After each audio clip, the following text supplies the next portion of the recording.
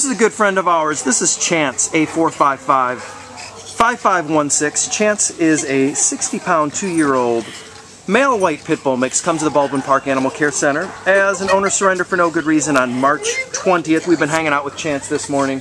He's been great company. What can you tell us about this lover? Chance is just, he's so silly and funny. Like, I haven't stopped laughing. He is a bit of a goofball, isn't he? All he wants to do is play with you. He loves his toys, um, but he does really good with them. He's very gentle with them. Will let you take them. He's totally fine with you playing with him. Um, another thing, he loves to sit on your lap. He wants to. He thinks he's a little lap dog. He does. He thinks he is, which is totally fine with me. I don't mind. Sure. Um, but he's just a really good boy. Um, he might need a little bit of work with other dogs, just because he is the larger breed. Um, you know, and he wants to play with them. So a proper introduction would be um, well worth it. Yeah. Um, he needs a little bit but he does know how to sit and he does know how to lay down. So he knows some of his basic commands, so he already has a start with that.